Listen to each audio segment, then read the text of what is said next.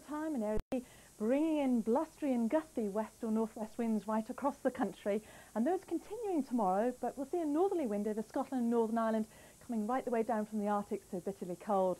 On Sunday we have an Atlantic area of low pressure crossing the south bringing rain and perhaps even sleet and snow to southern areas.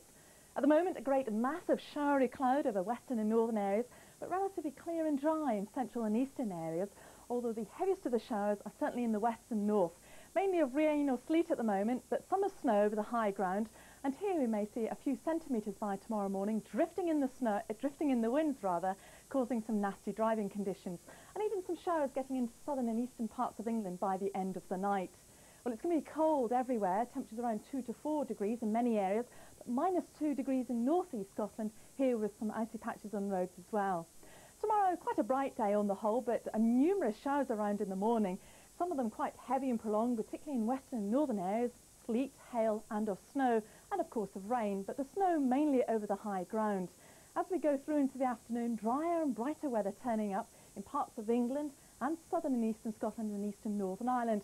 But we'll still see those showers continuing in parts of Scotland and the extreme east of England. It's going to be a bitterly cold day everywhere. In England and Wales, temperatures around 5 to 7 degrees with a very strong and gusty westerly wind. Temperatures around 1 to 4 degrees in Scotland and Northern Ireland. Very cold indeed in that keen northerly wind. On Sunday, we have that area of low pressure rattling in from the Atlantic, bringing a good deal of cloud with it, and mainly of rain too over southern parts of England, but perhaps that rain turning to sleet or even snow over central parts of England and of Wales. Further north, it should be much brighter with some sunshine and also a few showers dotted about. That's it. Good night. Of northern England.